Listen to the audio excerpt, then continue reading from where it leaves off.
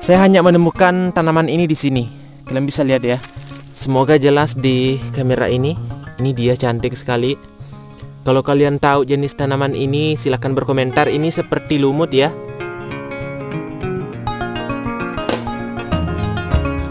Oke teman-teman, aku lagi sekarang berada di pinggiran hutan. Hari ini aku mau jalan ke sebuah padang yang cukup keren.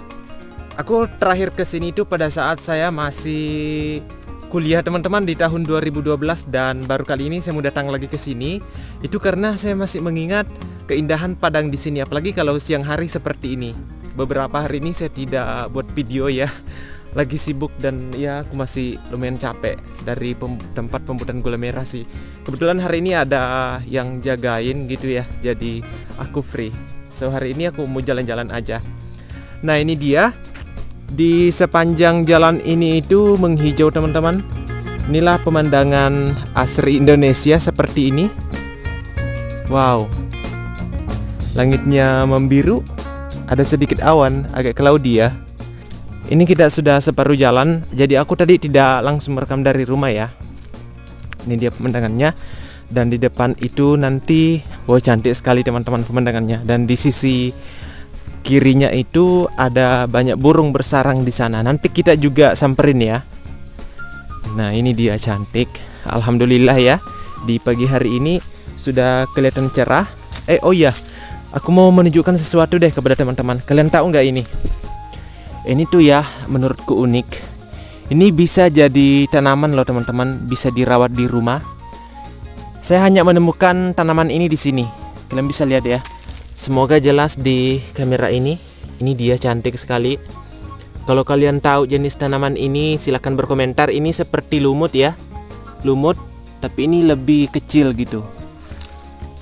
Itu dia dan ini kalau masih kecil. Aku udah berjalan jauh teman-teman dan hanya di sini ada tanaman ini. Ini dia. Cantik kelihatan. Kalian bisa berkomentar kalau tahu jenis tanaman ini. Saya perhatikan tanaman itu bisa dijadikan sebagai tanaman hias karena dia uh, bentuknya merambat dan dedaunannya itu semacam lumut teman-teman. Tapi itu lumut yang versi dia bisa berdiri dan merambat. Ya mungkin kayak semacam lumut Bangkok ya atau gimana silahkan berkomentar ya kalau kalian tahu. Dan masih ada bunga ini teman-teman ya. Mungkin pasti kalian tahu ini. Ini banyak. Ini bisa jadi obat ini teman-teman. Daunnya ini bisa dijadikan obat kalau kalian luka luka yang masih segar itu kalian kunyah-kunyah. Uh, terus kalian bisa tempelkan di luka. Artinya kita mengambil dari saripatinya gitu ya. Dari air dari apa kalau dikunyah kan itu ada airnya tuh agak-agak ini agak hijau. Itu langsung diperaskan ke luka. Itu cocok banget. Jadi kalau kalian suka ke hutan kalian harus tahu juga jenis tanaman yang bisa dijadikan sebagai obat gitu. Kita udah dekat sama tujuan kita hari ini di depan kita ini ada pohon rotan ini gede banget. Ini jenis rotan di sini tapi kayaknya udah layu deh iya. Besar sekali tuh. Waktu saya ke Kalimantan saya kan kerja nih jadi sales. Jadi kalau misalkan saya lagi kangen sekali dengan kampung biasanya saya pergi ke sekitar kebun kelapa sawit.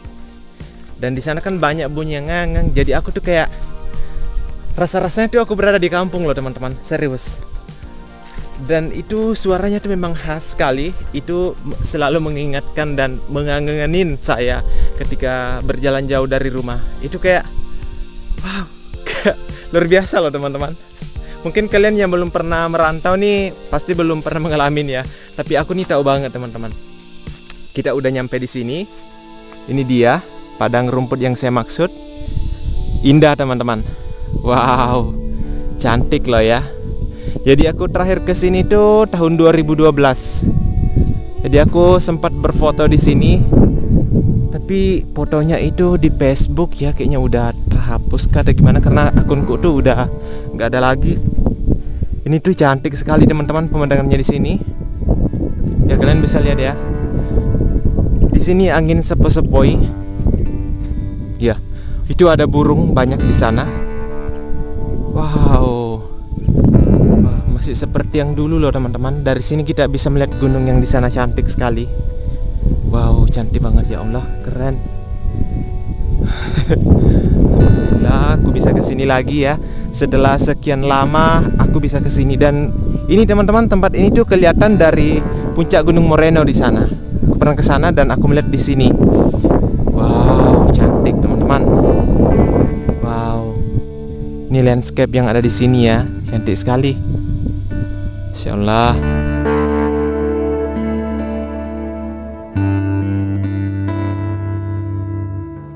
Jadi aku nih melepas kangen loh teman-teman nyampe di sini.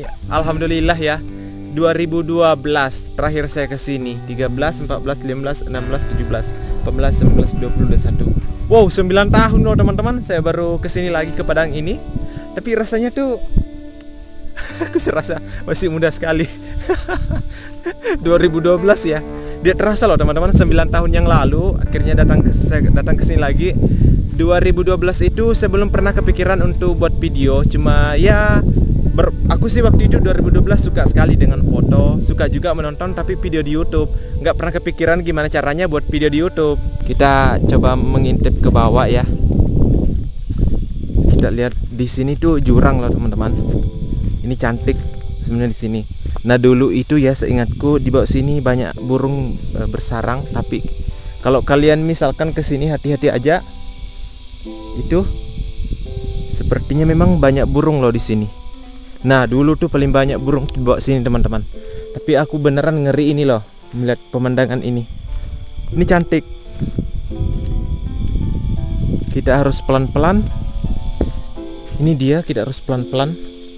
Oh iya beneran banyak burung teman-teman, tapi kayaknya sarangnya tinggal sarangnya ya. Nah, seingatku dulu kita turun agak sedikit. Aduh, agak sedikit lagi agak sedikit. Kita harus pelan-pelan ya. Oh ada satu teman-teman. Sarang burung yang aku dapat ini. Aduh licin. Licin ini batu-batunya. Ini loh. Ini sarang burungnya. Kalian bisa lihat nggak? Ini. Itu tuh masih ada kelihatan bekas ini kita lihat dia itu oh dalam loh teman-teman.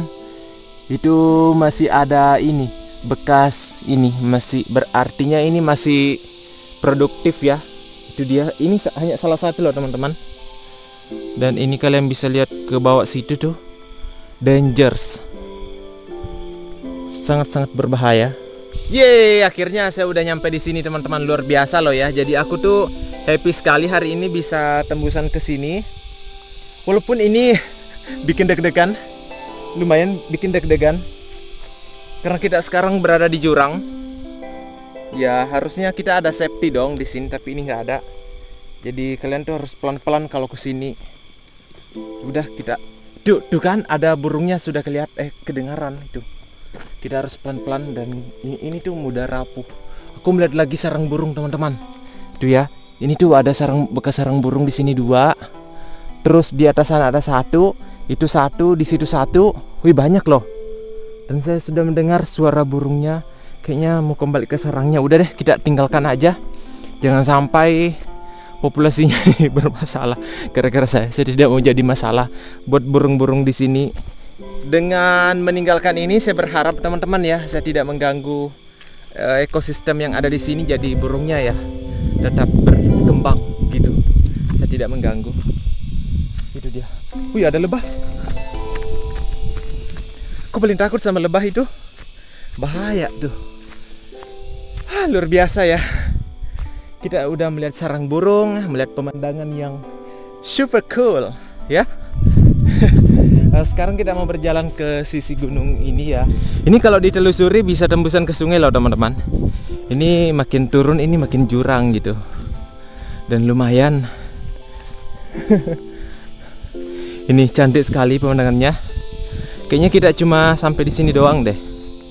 Gitu dia. Yang jelas hari ini aku udah puas bisa melihat. Ini namanya kalau tidak salah padang bangga bangai teman-teman. Padang rumput lah ya ceritanya padang rumput bangga bangai. Ini cantik. Oh iya kalian bisa lihat di sana itu hutan lindung.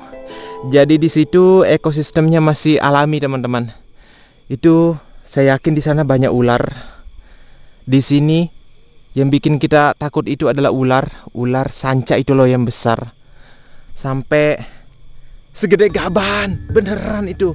Anak sapi aja bisa ditelan loh teman-teman. Di sana itu ah itu bahaya. Makanya aku nggak berani ke sana sendirian. Apalagi hari ini kita tidak ada peralatan sama sekali jadi ya. No no no no. One day kalau ada teman kita bisa mengeksplor. Itu di hutan Lapuru namanya. Kalian bisa lihat ya itu tuh hutannya masih alami. Salah satu-satunya hutan di sini yang masih alami yang ini. Kalian bisa lihat itu rotannya tuh banyak sekali itu. Dan itu dilindungi teman-teman. Nggak boleh sembarang menebang di sana. Itu ya salah satu hutan lindung yang ada di sini yang ya tidak ada yang ganggu teman-teman. Bahaya di sana. Oke, jadi kesimpulan dari video ini itu kita tadi udah melihat ya ada sedikit uh, tanaman yang sejenis lumut tapi dia bisa merambat teman-teman bisa tinggi. Kalian mungkin kalau tak silahkan berkomentar. Kemudian kita melihat sarang burung tadi itu. Sayangnya burungnya tidak ada karena udah siang sekarang udah jam 11 jadi kita tidak bisa melihat burung.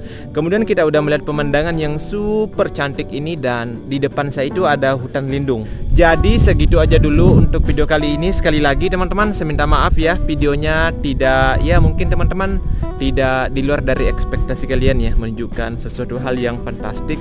Emang kenyataannya di sini aku membuat video dokumentasi. Ya, akhirnya aku e, mengobati kerinduanku yang udah 9 tahun baru ke sini gitu loh teman-teman.